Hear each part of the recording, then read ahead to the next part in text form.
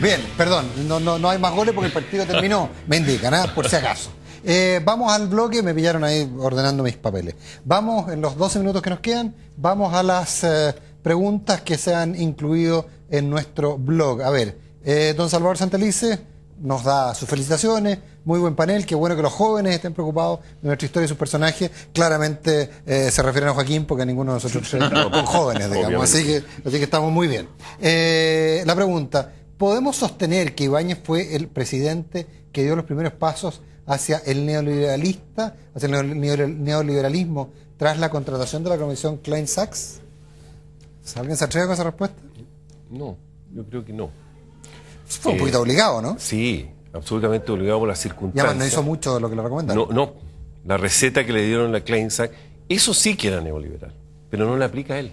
La aplicó en, en- en- en corta medida. Joaquín. Yo creo que no también, pero lo que sí hay cierta filiación entre lo que sucede en esta época y después las reformas de la dictadura y sobre todo porque hay que pensar, por ejemplo, que el convenio que hace la Universidad Católica con la Escuela de, Chicago. Chicago, en el fondo se hace bajo el alero de esta situación a fines de los años 50, es decir, hay una cierta afiliación. Ahora, claramente, Ibáñez nunca se comprometió con este proyecto y encuentro el profesor Álvaro Góngora tiene toda la Pero razón. sí, está- el en estatista, el Y, estatista. y- y de una manera u otra el, el- todo este proyecto Chicago surge como un modo de alternativo Claro. a, a El- enfrentar la, la crisis y su en que, que Ibáñez había su materialización no posterior, que había es ladrillo, es, es- es completamente distinta varios años después. Eh, Joaquín, eh, ¿cómo era Ibáñez en su mundo privado, a diferencia del personaje público? Bueno, Ibáñez se casa en el poder, ¿no? Eso es uno, Sí, el segundo eso- matrimonio. Eso los importantes. Tuvo dos matrimonios. Fue viudo, ¿no? Claro. Y el, el segundo matrimonio se casa en el poder. Ahora, en general, en el fondo es un hombre extremadamente reservado, así que conocer sobre su vida privada pues, es una, cos- una cosa que se vuelve extremadamente difícil. Lo que sí, en el fondo era conocido por ser una persona bastante sobria, Austero. austera generalmente. Sí, pero en el segundo gobierno. segundo gobierno eh, cambió eso un sí, poco, el sí. estilo. Sí. era mucho- Castillo eh, eh, fue muy criticado en su minuto. Bueno, pero él, él creó, o sea, y por lo tanto, Claro. el alejamiento es de la señora Gabriela. Claro.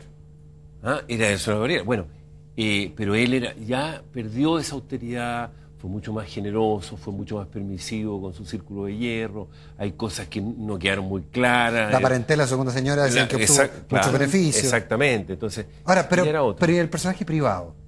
Porque Gonzalo Vial escribe un libro en que habla mucho de este, de este personaje que viene de, al revés de lo que se piensa, de una clase más bien alta, provinciana, pero Linares. la clase alta, de Linares. Joaquín, ¿hay algo que agregar ahí o, o tú prefieres quedarte con Ibáñez político?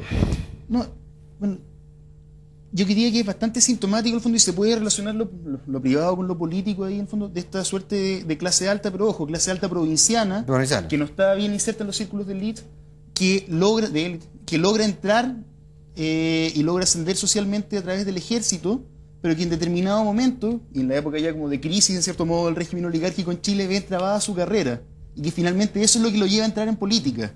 Es decir, yo creo que es importante rescatar la labor de estas clases medias, de estos Sí, grupos de élite de provincia que se sentían desplazados en el fondo y que ven en, en el ejército una salida para esta situación. Ahora también, en- en- yo perdón. creo que la, la- la- la- la experiencia como militar eh, Sí.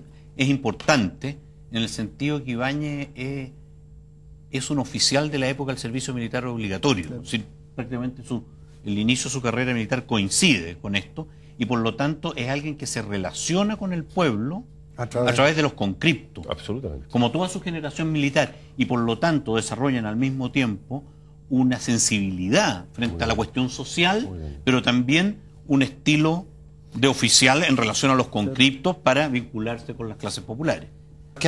Perdón. Pero efectivamente yo creo que hay un déficit historiográfico en torno a la época de los gobiernos radicales, es decir, no se ha escrito lo suficiente sobre el tema, yo creo que es un periodo en el cual falta mucho por indagar. Hay una pregunta diri- dirigida a ti, Joaquín, hace eh, Felipe Nostroza.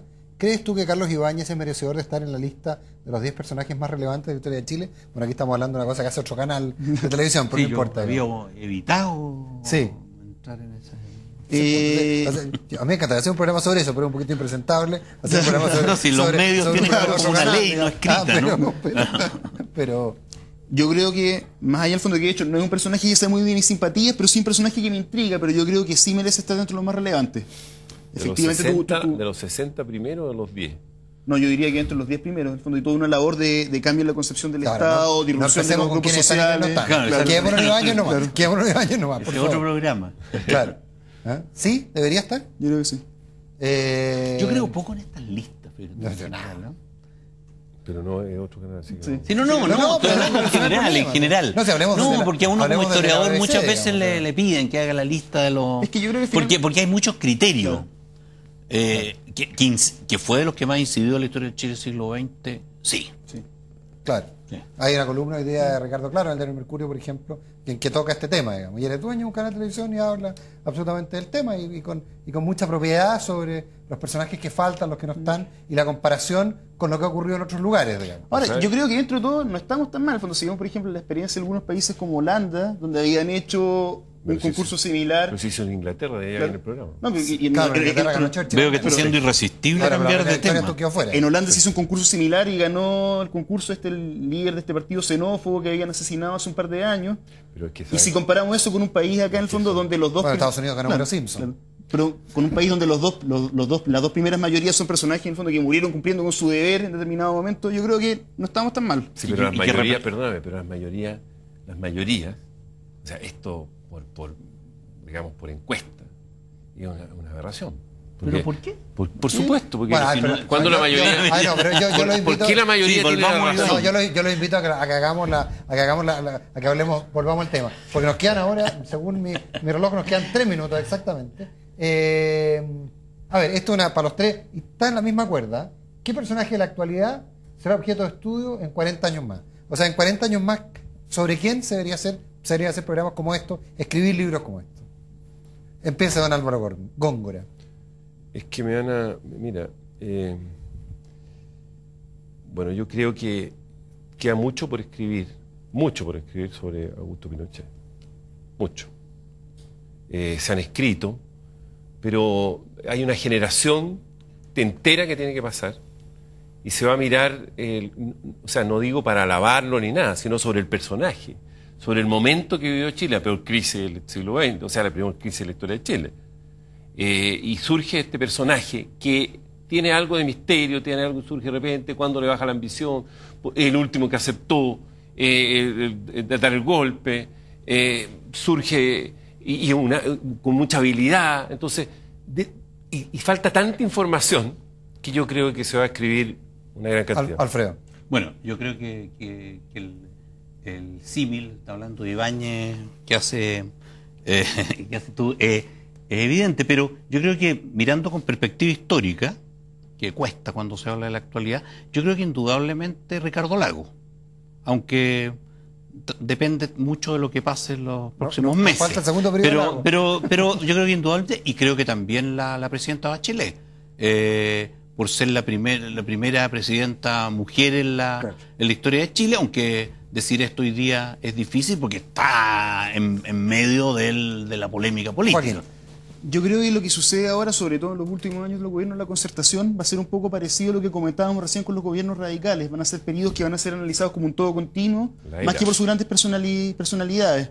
Se va a analizar, yo creo, en el fondo, la, la situación económica, se van a analizar las continuidades políticas, pero yo creo que no va a haber, la historia no se va a fijar tanto en las personalidades, porque mal que mal no es una época de personalidades tan descollantes.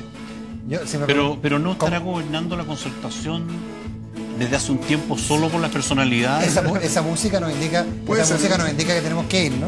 Eh, si me preguntaran a mí, yo creo que en 40 años más va a haber que hablar sobre los roles de los ministros de Hacienda, desde Vigia en adelante. Yo creo que hay un elemento político muy importante que se ha olvidado. Eh, les quiero recordar que hablamos de El ibañismo, un caso de populismo en la política chilena, libro de Joaquín Fernández Abarca, libro editado por el sello de la, del Instituto de Historia de la Universidad ah, de la Universidad. Católica de Chile. Eh, algo me decían de Avara, pero Avara, sí. Avara. Ah. ¿Y qué dije Abarca? Yo dije Abarca. Abarca. Dije Avara, gracias. Muy, muy amable, me están corrigiendo. Te, te estoy cambiando el, el apellido. Tu mamá se va a enojar, así que. Pasa usualmente, así que no hay problema. Dale, dale, dale mi respeto a tu madre y dale, dale mis disculpas. Eh, gracias a Joaquín Fernández, gracias a Álvaro Góngora y gracias a Alfredo Riquelme. Estamos un poco pasados en el tiempo. A ustedes gracias. El blog lo tienen en pantalla y pueden escribir, seguir opinando y mañana eh, María Esther Roblero aquí en Contexto. El viernes el resumen de toda la semana. Gracias, muy buenas noches.